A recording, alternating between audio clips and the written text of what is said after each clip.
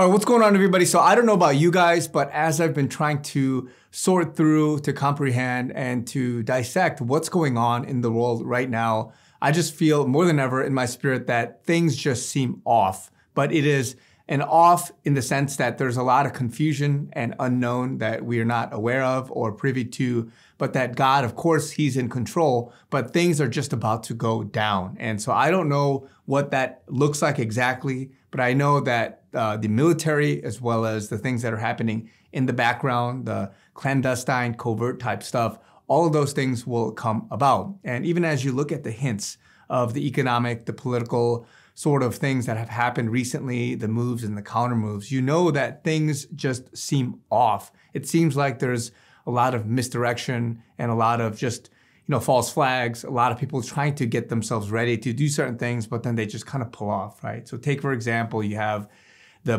the Trump stuff, and so his uh, uh, candidacy was a huge, as people are just trying to dissect this, a huge misdirection for the establishment and the people that are trying to go against him. You had the false flag with the Poland stuff. They were going to blame that on Russia. But of course, after sort of quote unquote nothing came about of this, at least from the normal perspe- person's perspective, they just kind of said, oh, no, that wasn't uh, Ukraine, whoopsie kind of thing. You had Bush and Obama trying to do their uh, their summit of trying to fight uh, misinformation or whatever it is that they were trying to do co- coincidentally a day or two after his announcement. And then, of course, if you've been following, and this is something that not a lot of people follow, but if you look at military activity, airplanes, and just a lot of the movements for what's publicly available, the, the National Guard, their activity is increasing uh, a lot. There's a lot of flights in the air. There's a lot of people that track this stuff, but basically, there's uh, flights that are leaving the US. And then you got a lot of the economic stuff happening, right? The fallout from the FTX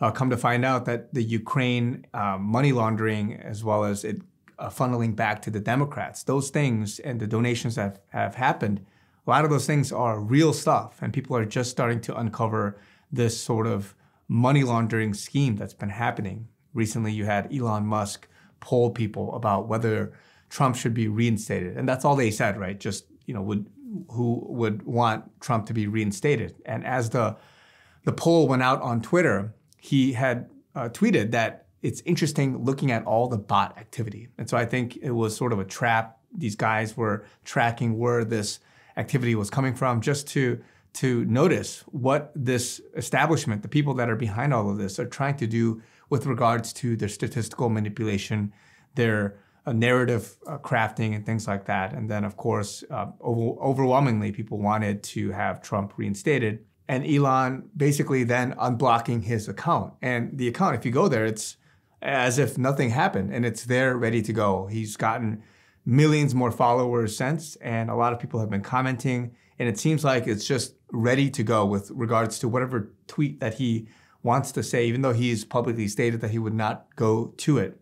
And so let's see what happens there. And then you have rationing starting to happen in the UK with eggs and many, many things over there. And it's sort of a dire crisis with the looming winter season approaching. And then you have the US facing major power outages. You got a lot of different issues with the infrastructure in the US. And then you got a lot of the companies laying off workers. So if you if you saw Amazon announce thousands or tens of thousands possibly of workers being laid off and that's significant because it's the holiday season. Typically they reach or they hire a lot more people so that they can take on the holiday demand. And so because it's being cut, it goes to show that there's a lot of things that is not in demand. And then the shipping companies, the logistics guys, UPS and FedEx, those kind of companies, they're also slowing down a bit. And so it, it's showing that the demand or the forecasted demand, all of these things are possibly not where it should be. And so it's sort of kind of begging this question of the looming collapse of what's going on with regards to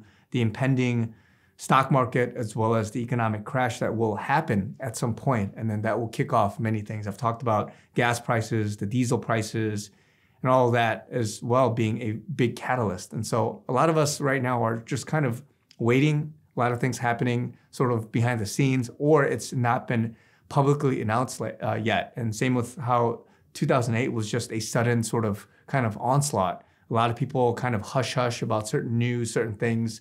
Who knows what these, you know, uh, manipulated economic indicators are telling us with you know all, all of the data that's been coming out the last couple of months the true inflation the true unemployment the true cpi and all these things like what's really going on here and so a lot of things guys are not what it seems and my sense tells me that something is uh, terribly off and that a lot of us are being told certain things and as I mentioned in the last couple of videos about the narrative war we are living in, living in, we are in a fifth generation warfare with information and misinformation and just this battle for your mind.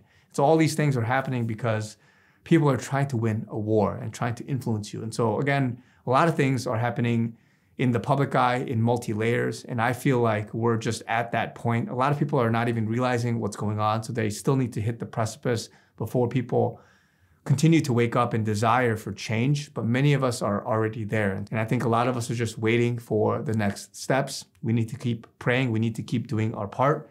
But I feel in my spirit that there are things that are about to go down very soon. I think they're going to happen very suddenly, very quickly, and a lot of things will hit the American or the world uh, normies in a hard way. And so, again, I'm here just waiting on the Lord. I'm here optimistic. And I believe we're about to move into a great age. And a lot of us have been saying it's going to be this kingdom age. It's going to be a harvest like we've never seen before. Trump and many, many others call it the golden age. But I believe the best is yet to come, just like what they are saying. And I know that the Lord has all of this in his hands. So I just want to encourage a lot of you guys. We're waiting, we're in anticipation, and I think that it is a great time to be alive. And so a lot of us, we're trying to make sense of it but we are also holding on, we're hopeful, and we are just getting ready for what's to come. So we all have our, our role, our part. We need to be good stewards of what He has given us. So love you guys. Talk to you guys very soon.